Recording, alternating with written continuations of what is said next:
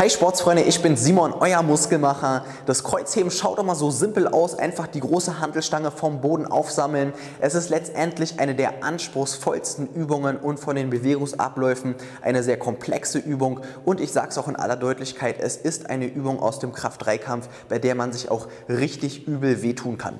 In diesem Video erkläre ich euch, welche Fehlhaltungen, die man leider sehr oft sieht, ihr auf jeden Fall vermeiden solltet. Ich erkläre euch das ganz sachlich, warum sich die Wirbelsäule in einer gefährlichen Position Position, in einer gefährlichen Haltung befindet. Deswegen schauen wir uns das heute einfach mal per Voice-Over an.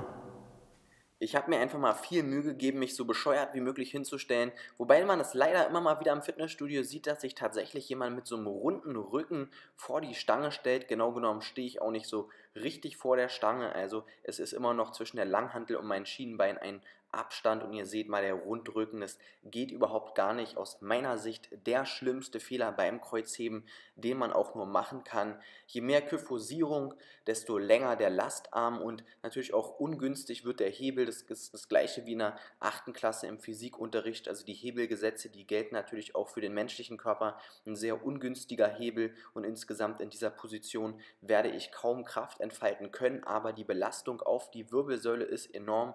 Ihr dürft natürlich nicht nicht vergessen, unsere Wirbelsäule ist für axiale Belastungen ausgelegt und das Schadenspotenzial, also wenn ich jetzt hier anheben würde oder mehr, mehr Gewicht benutzen würde, ähm, es wäre einfach immens groß. Also ich rate jedem, absolut jedem von dieser Haltung ab.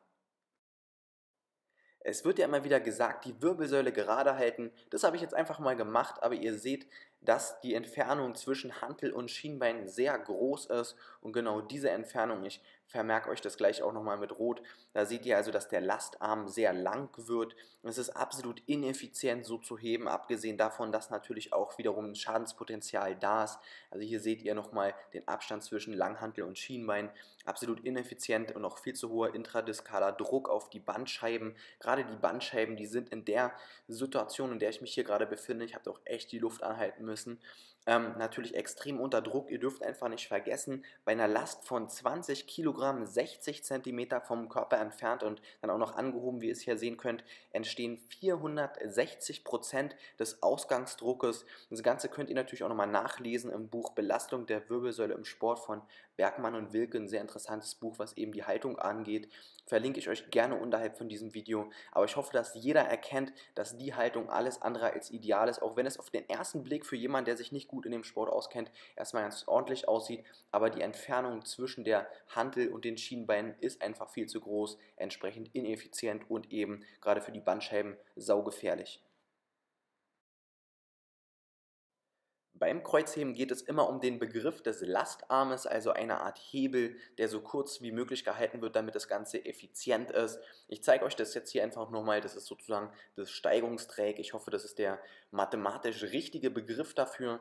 Also das ist der Lastarm und es gilt, den Lastarm durch Extension der Wirbelsäule immer so kurz wie möglich zu halten. Natürlich auch ganz wichtig beim Kreuzheben, dass die Bein- und die Hüftmuskulatur gemeinsam die Kraft auf die Handel entfaltet. Eine stabile Rumpfmuskulatur ist enorm wichtig. Das Schulterblatt ist nur muskulär mit dem Brustkorb verbunden. Das ist also ganz wichtig, dass ihr wisst, dass die Stabilisatoren eine ganz prägende Rolle spielen. Also die sind sozusagen das schwächste Glied in der Kette, in der Bewegungskette.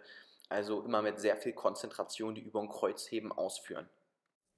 Ich habe versucht, euch das Ganze so verständlich wie möglich zu erklären. Ich weiß, das ist ein wirklich komplexes Thema, das ist so umfangreich. Ihr dürft natürlich auch nicht vergessen, jemand, der 1,60 Meter groß ist, der hat natürlich eine andere Belastung als jemand, der 2,10 Meter groß ist. Also insgesamt gibt es natürlich da auch Unterschiede. Wir Menschen sind alle individuell. Unsere Vorstellungen und Ziele sind genauso individuell. Und genau dafür biete ich jedem das Muskelmacherprinzip an, um ihn einfach zu begleiten, seine Ziele zu erreichen. Ob Muskelmasse aufbauen oder Fett abbauen, jeder kann sich überlegen, was sein Ziel ist und ich bin gerne bereit, euch dabei zu unterstützen. Wir sehen uns im nächsten Video. Macht's gut, viele Grüße, euer Muskel.